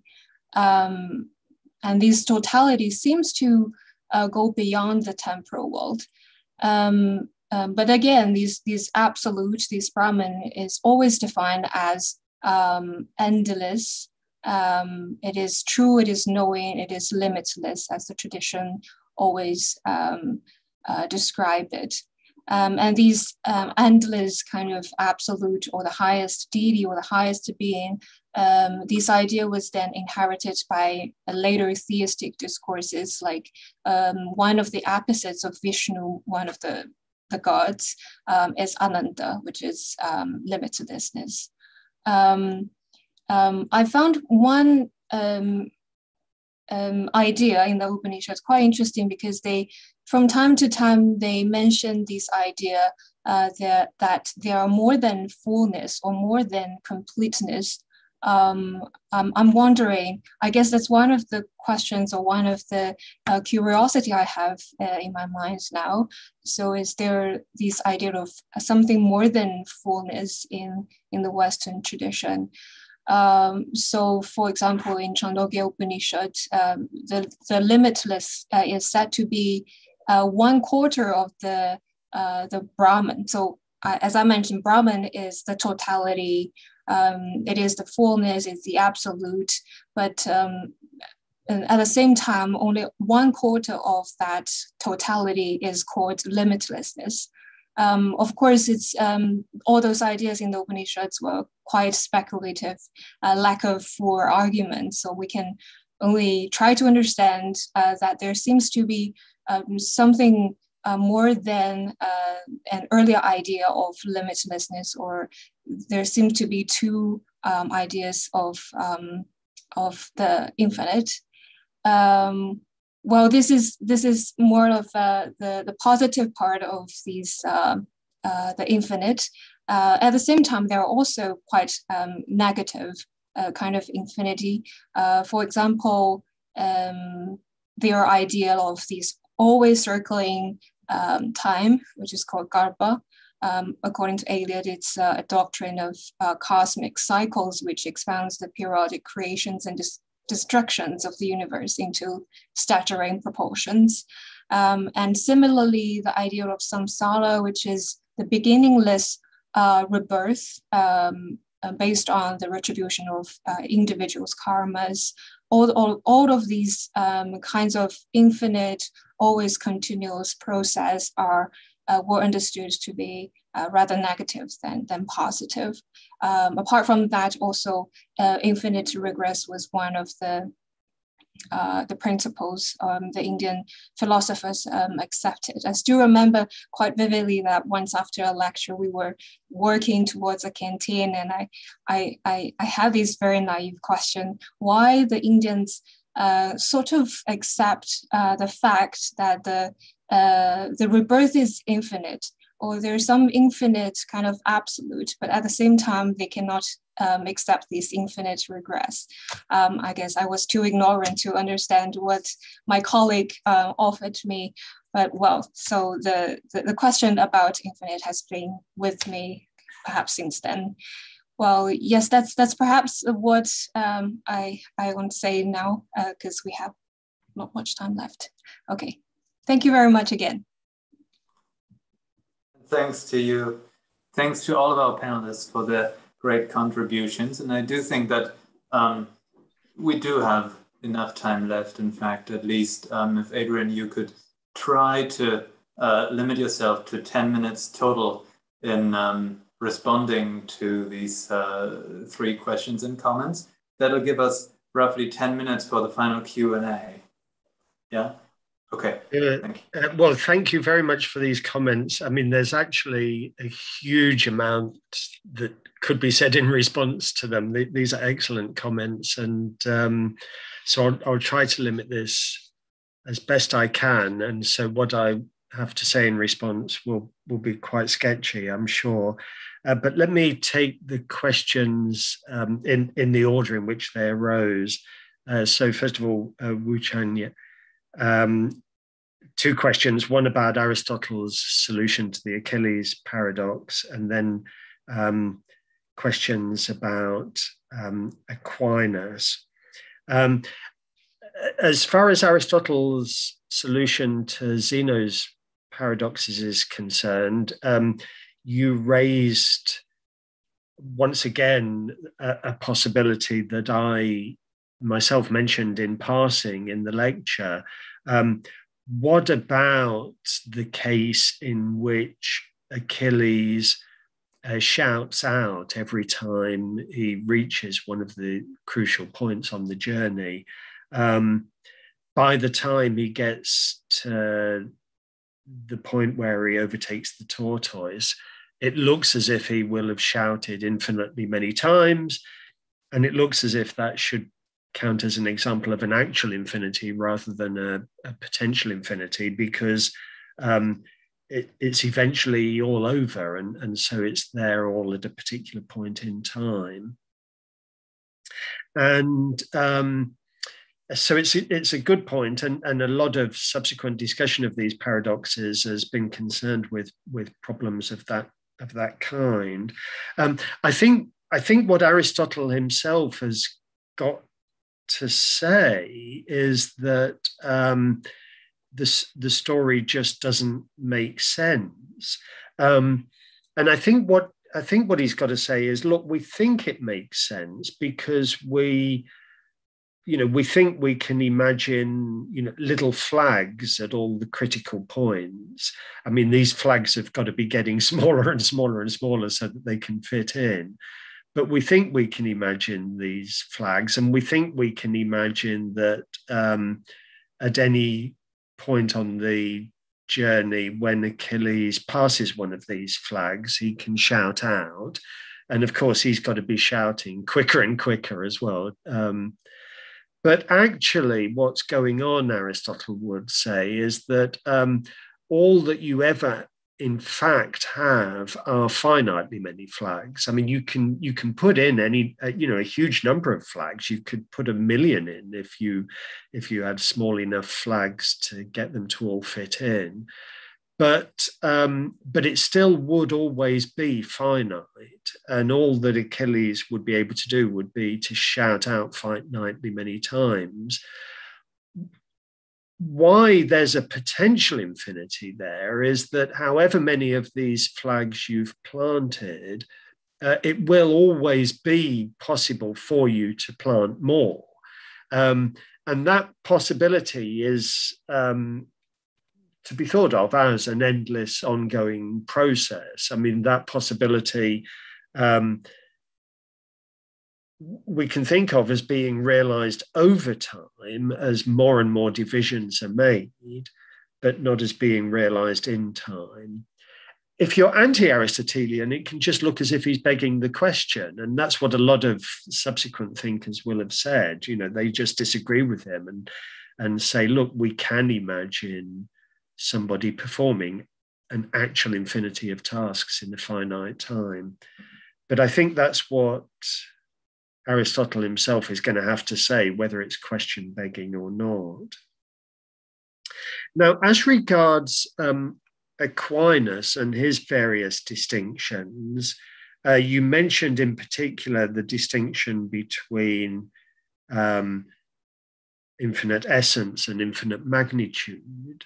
And you asked me whether um, that was the same as what I meant by the distinction between the metaphysical and the mathematical.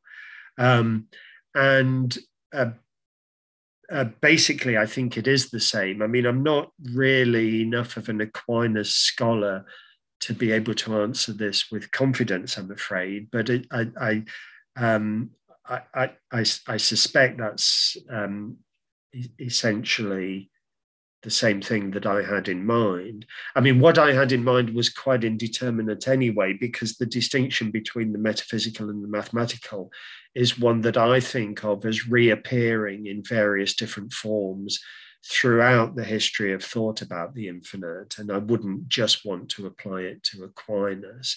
So I think probably the best thing for me to say is that his distinction between uh, essence and magnitude is one version of the distinction between the metaphysical and the mathematical. But then you raise a problem, which is you say, well, as far as that quotation goes, doesn't this just go to show that um, Aquinas is denying that God could make anything that's infinite by essence, not that God could make anything that's infinite by magnitude? Um, and if the latter is what's at stake, we still need to know what his argument is.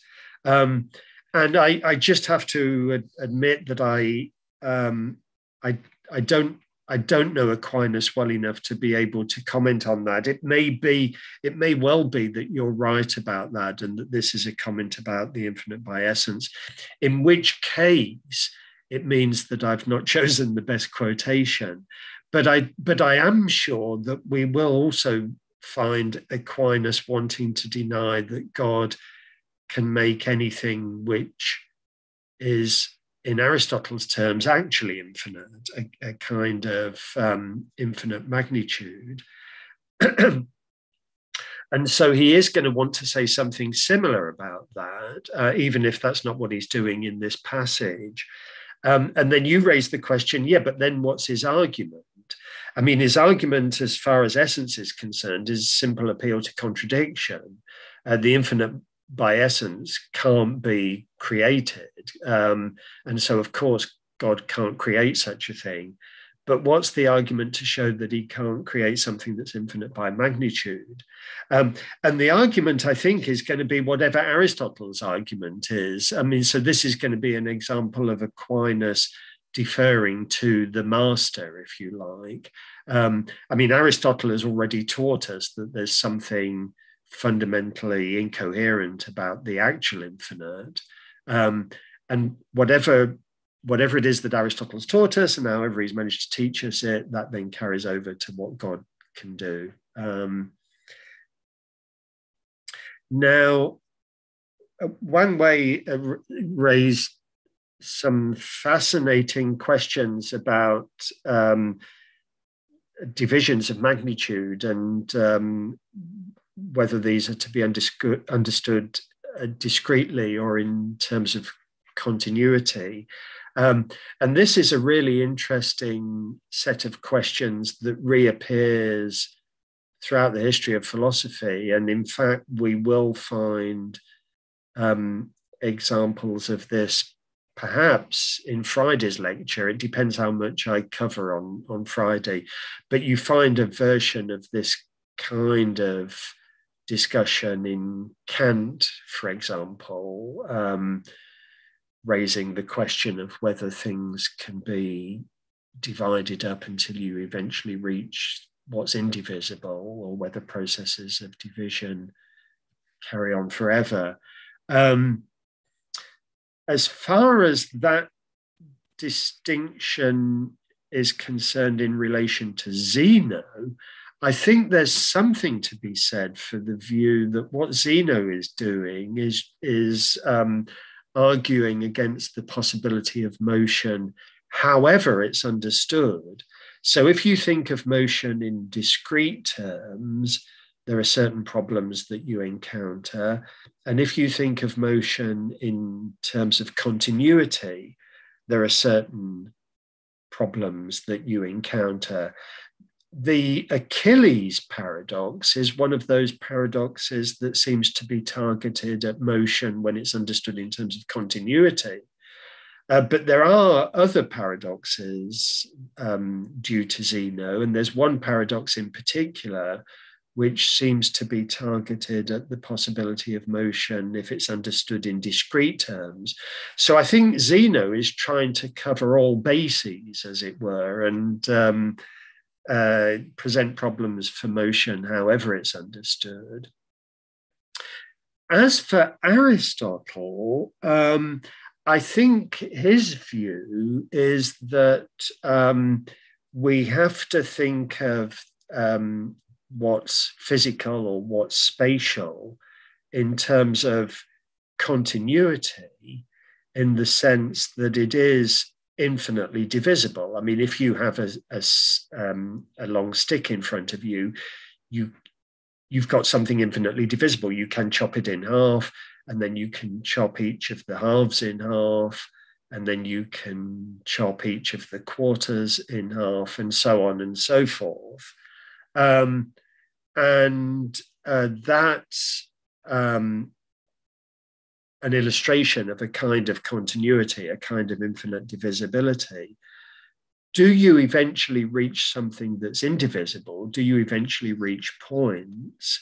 Uh, no, will be Aristotle's answer to that question. Um, because you don't eventually reach anything.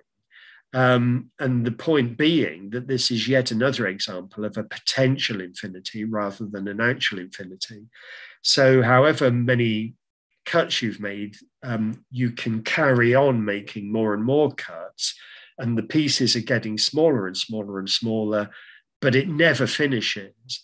And you never reach the point that you've got something that's indivisible. I think that's going to be Aristotle's view, and that the we we don't want to think of a something like a stick as made up of indivisible points. Um, um, I mean, there, there is. I mean, you you did also talk about the the difference between uh, limits and what does the the limiting. Um, one one um, point that's perhaps also worth flagging in connection with uh, Aristotle is that he thought that the physical universe was spatially limited. Um, it had to be, otherwise there'd be an actual infinite. So space itself for Aristotle is finite um, or limited. Um, and a natural objection to that um, is, well, what's it limited by? I mean, what is there that's outside space? If space is only finite, what is there that's outside space? Now, as it happens, subsequent developments in physics have sort of vindicated Aristotle, and physicists these days talk about space as being uh, uh, finite and limited although they understand that in a rather different way from Aristotle. But, but what, what both of them would say, what both Aristotle himself and, and physicists would say, is that for something to be limited, it's not necessary that it should be limited by something else. Those limits can, as it were, be internal limits, part of the very essence of the thing. Um, and then, thirdly, um, Zhao You, uh, uh, this was really interesting. Um, sorry, you... I'm very sorry to interrupt you. Um, mm. I just I just wanted to to make it known to everyone that whilst we've hit the hour now, um, which is the end of the scheduled live stream, my suggestion is that we should not have that um, dictate uh, what's happening um, because we can simply continue for a while, and I'm sure that many or indeed most people will be happy to stay with us. And um, you can take your time. And after that, we will uh, have a little bit of a Q&A with our audience. And um, the panel can, of course, always continue their discussion in private later. So please take your time and we'll do the Q&A afterwards. Okay. Thanks. I, I, I, probably should have said, I think I mentioned this to you yesterday, Sebastian. Um, I will I will have to go at quarter past at the latest. So even I'm a little bit limited, I'm afraid. But um, we, we will stop me, before that. Yeah. Um, let me say something uh, very briefly in response to uh, Zhao You, which uh, so this was really fascinating. And um, you've done exactly what I was hoping that somebody would do, which is you've introduced some Eastern thought as well and, and um, discussed some of the comparisons. And um, there obviously are some very interesting comparisons. And I just really found that very interesting. Um, I don't have a lot to say in response, actually. I mean, this will be very brief. Uh, just a, a couple of things. Um, I began my lecture by saying that the Greeks abhorred the infinite, and, and you mentioned that, and you pointed out that um, with as some ancient Indian thought, it was very much the other way round. And in subsequent Western thought, it's tended to be the other way round as well. Uh, but it is worth uh, noting that even what I said about the ancient Greeks was an oversimplification. And the first Greek thinker who really talked at any length about the infinite um, was Anaximander. And actually, if you go right back to Anaximander, it tends to be the other way around. I mean, you think of the infinite as a, a rather important, a good cosmic principle. Um, it was not really until the Pythagoreans that we got this interesting reversal. Um, and that was partly because they found it so hard to make sense of the infinite. But obviously, there's always a danger with these things of oversimplifying, and to some extent, I, I did oversimplify. Um, but you also um, had some really interesting things to say about the absolute um, and the uh, distinction between a, a, positive and a negative understanding. Um, and let me just say that um, there will be a little bit more of this in lecture three. Uh, which may come as a little bit of a surprise to you because that's the lecture in which I'm going to be talking about um, the mathematical treatment of the infinite. But the person who was most famous for studying the infinite in mathematical terms was um, a 19th century mathematician, Cantor. And Cantor was a brilliant mathematician, but he was also very religious.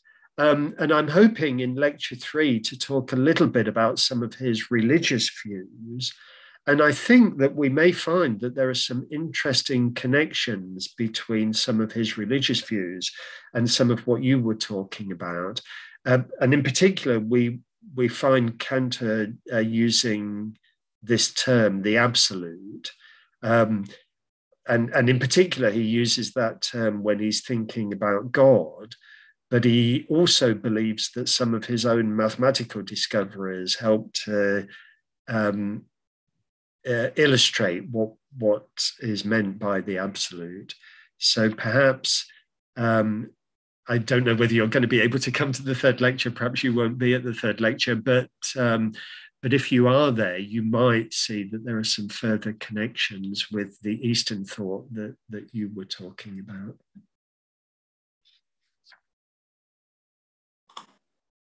Thank you ever so much, Adrian, um, for those very interesting elaborations in response to the comments and questions from our panel today.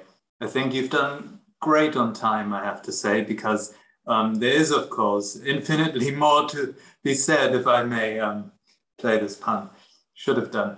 Um, now, we do want to take perhaps uh, five minutes or so to look at some of the questions that we received from the live streams on YouTube and also on Bilibili. I will begin with one question, um, which uh, may be a very difficult one, or perhaps not, I'm not sure, but uh, it's up to you to decide, and I hope you will like it. The question is, um, how might one explain the problem of the infinite in a practical way? That is to say, um, is it perhaps the case that, and I suppose this is uh, the idea that this might somehow not be possible, but is it perhaps the case that we could say that the problem is just logical? So I think the question makes a distinction between what's practical and what is perhaps just logical. Mm. Uh, good. Okay. Well, um, uh, again, if I may say so, I think this points forward to um, later lectures. Um, so, in lecture two um, on Friday, um, I think we will see some examples of how uh, these issues have practical repercussions. Um, uh, we'll be looking at some uh, uh, ways in which thought about the infinite has, has been applied in science and technology. Um, and in particular, thought about the infinitely small um, uh, we'll be looking at the uh, calculus, um, and um, that's concerned with what's infinitely small, and that has been of huge practical significance, and, and we'll be seeing some examples of that. So, I, so these um, issues are, are not purely theoretical by any means. Now, in the third lecture next week, um, I'll be talking some more about the mathematics of the infinite, and the discussion will then turn to the infinitely big rather than the infinitely small. And quite often, when um, there's discussion of the infinitely big, uh, quite often this question arises, which is Does this have any practical significance, or is it just of purely theoretical interest? Now, the mathematics of the infinitely big has not so far been applied in the same way that the mathematics of the infinitely small has been. So, whereas in Friday's lecture, we'll see lots of examples of practical applications, when it comes to the lecture next Wednesday, um, we won't see those practical applications. But um, there are there are two things I think to be emphasized. Um, one is um, the mathematics does have applications elsewhere in mathematics. I mean, that, that's still very theoretical, but it has been of huge significance to other mathematicians. But also, as far as practical applications are concerned, um, we have to remember that this mathematics is still relatively recent.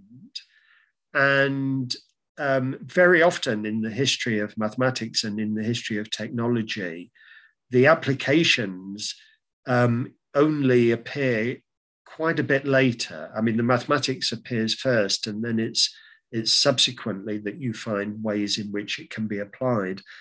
And I think it's still possible that we may find that there are practical applications. Um, and then finally, if I can just say something about my fourth lecture. Um, so this is looking ahead to next Friday.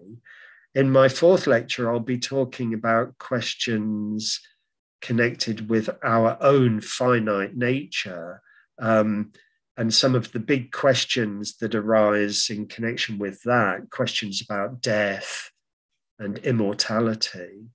Um, which I mean, because we're finite, um, it means that um, it does have a kind of practical significance for us to think about the infinite and to think about um, ourselves in relation to the infinite.